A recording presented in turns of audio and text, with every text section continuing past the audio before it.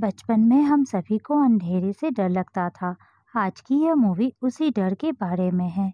Movie का नाम है द बोगी मैन इसे आई में 6.1 की रेटिंग मिली है। यह मूवी 2 जून 2023 को इंग्लिश लैंग्वेज में रिलीज़ की गई है। मूवी की शुरुआत में हम एक छोटी सी बच्ची को देखते हैं, जिसका नाम एनी था। तभी एक ब्लैक सैडो घर में इंटर करता है और एनी की तरफ़ बढ़ने लगता है। एनी अपने घर में अकेली थी।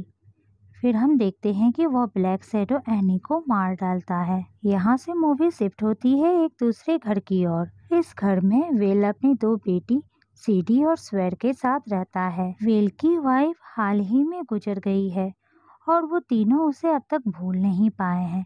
सीडी अपनी मम्मी को बहुत मिस करती है। इसलिए वो अपनी मम्मी की ड्रेस पहनकर स्कूल जाती है। स्कूल में जब वो अपने लॉकर का डोर ओपन करती है तो उसके अंदर खराब कर्ड रखा हुआ था और पास से गुजर रही लड़कियों से धक्का लगकर वह उसके ड्रेस में गिर जाता है। यहाँ विल के पास लेस्टर नाम का एक आदमी आता है। उसकी बातें बहुत अजीब सी थी। उसने विल को बताया, एक साल के अंदर उसके तीन बच्चे एक के बाद एक करके मारे गए।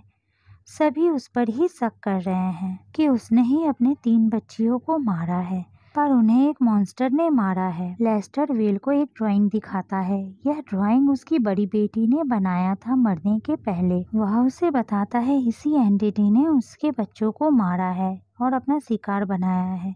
यह उन्हीं बच्चों को अपना शिकार बनाती है, जिनके पेरेंट्स उन पर ध्यान नहीं देते।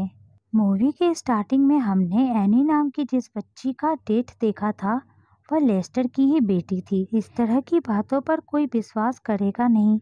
इसलिए वेल वहाँ से बहाना बनाकर दूसरे रूम में जाता है और 911 पर कॉल कर देता है। सीडी यहाँ घर आ चुकी थी। उसे घर पर किसी तरह की आवाज़ आती है और वो क्लोसेट तक जाती है। वहाँ रेड पेंट गिरा हुआ था। फिर उसे लेस्टर की डेड बॉडी दिखती है। फिर वहाँ पर पुलिस आ जाती है और लेस्टर की बॉडी को वहाँ से ले जाती है।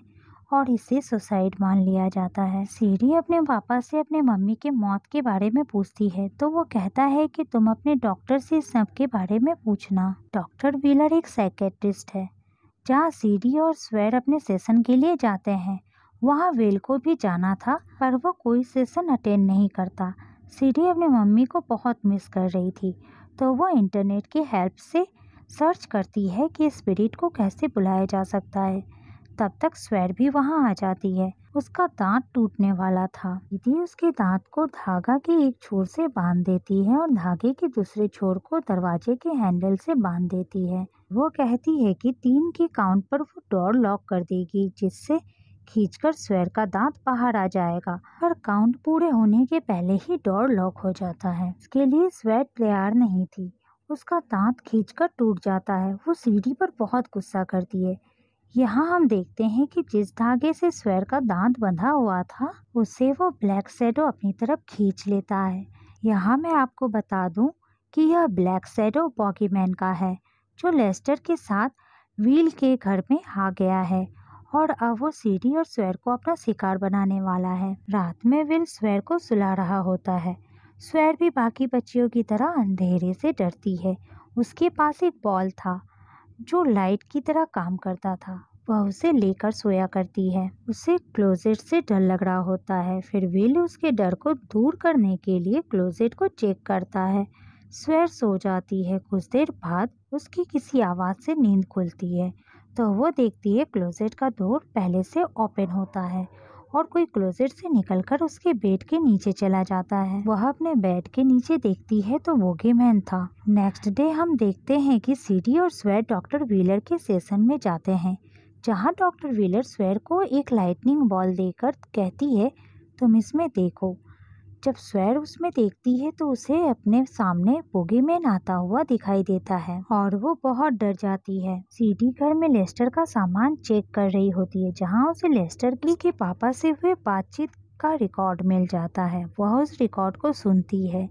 उसे लेस्टर के सामान में उसके घर का एड्रेस भी मिल जाता है और उसे बोगीमैन का ड्राइंग भी मिल जाता है। तो वो ड्राइंग को लेकर स्वैर के पास जाती है और उसे दिखाकर पूछती है, तब स्वैर उसे बताती है, उसने इसे देखा है।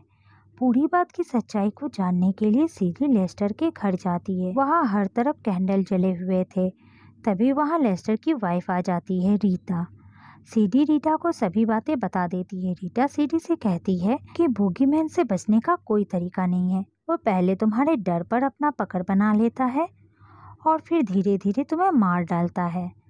बोगीमैन को रोशनी से डर लगता है। तभी वहाँ बोगीमैन आ जाता है, किसी तरह अपना जान बचाकर सीढ़ी वहाँ से भागने में कामयाब हो जाती है। यहाँ वेल अपनी वाइफ के सारे सामानों को फेंक रहा था। सीढ़ी ऐसा नहीं जाती थी, उसे अपने मम्मी के सामान में एक लाइटर मिलता है। सीढ़ी अपने दोस्तों को हैंगआउट के लिए अपने घर में बुलाती है। वो सभी नशे कर रहे होते हैं। तभी सीढ़ी को वॉमिटिंग सी फील होती है और वो बेसिन के पास जाती है। उसके मुँह से वही धागा निकलता है जिससे स्वेर की दांत बंधी हुई थी। इसके बाद वो एक अंधेरे कमरे में जाती है और दरवाज़ा अचानक बाहर से लॉक हो जाता है। वो डरी हुई थी कि वहाँ मैन आ जाता है। उसके शोर से उसके दोस्त दरवाज़ा खोलने की कोशिश करते हैं। जब दरवाज़ा खुलता है तो सीढ़ी बाहर आ जाती है और उन सब पर गुस्सा करने लगती है। वे सभी वहाँ से चले जाते हैं। स्वेर वीडियो गेम खेल रही थी, तभी वहाँ बोगीमैन आ जाता है। वह स्वेर को बहुत मारता है। उसकी चीखों को सुनकर वेल भी आ जाता है और बोगीमैन वहाँ से चला जाता है। वे सब उसे लेकर हॉस्पिटल जाते हैं। वहाँ सीडी को रीटा का कॉल आता है और वो उसे बताती है कि बोगीमैन को मारने का एक तरीका मिल गया है और वो उसे अपने घर बुला लेती है। वहाँ जाने पर वहाँ पर सीडी देखती है कि हर तरफ़ कैंडल ही जले हुए थे। तभी रीटा सीढ़ी को बाँध देती है। रीटा ने उसे अपने शिकार को फंसाने के लिए चारा बनाकर बुलाया था, अपने बच्चे और पति के मौत का बदला लेने के लिए। वह बोगीमैन को मारना चाहती थी, तभी बोगीमैन भी आ जाता है। सीढ़ी चाहती थी कि कैसे भी बोगीमैन खत्म हो जाए। वह सीढ़ी को खाने के लिए आगे बढ़ता है, तभी रीटा के बछाए हुए जाल में वो फंस जाता है, जिससे कि रस्सी खींच जाती है। और फायरिंग बोगीमैन पर होने लग जाती है। रीता भी उसे सूट करने लगती है।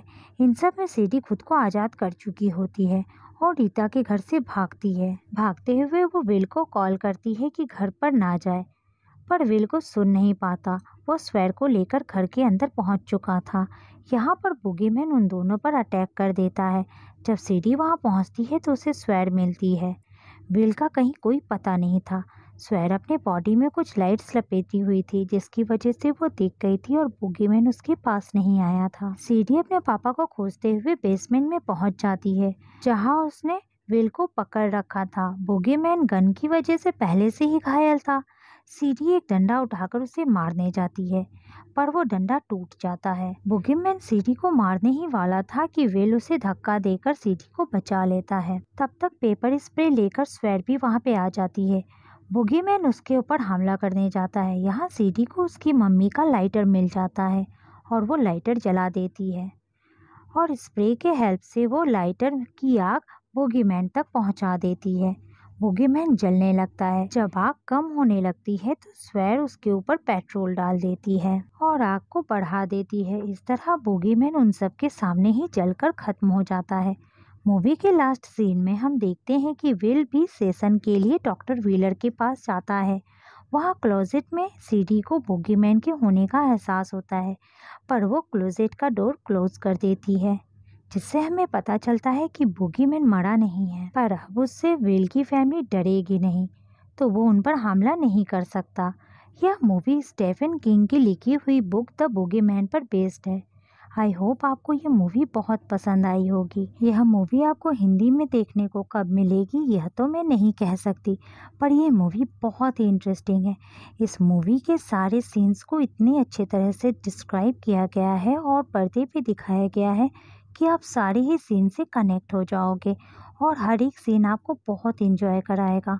तो मेरा सजेशन है, यह मूवी आप ज़रूर देखिएगा और अगर आपको मेरी एक्सप्लेनेशन पसंद आई है वीडियो को लाइक करिए और मेरे चैनल को सब्सक्राइब कीजिए। बेल आइकन भी दबा दीजिएगा ताकि जब भी मैं वीडियो अपलोड करूँ तो आपके पास सबसे पहले नोटिफिकेशन जाए। Thank you.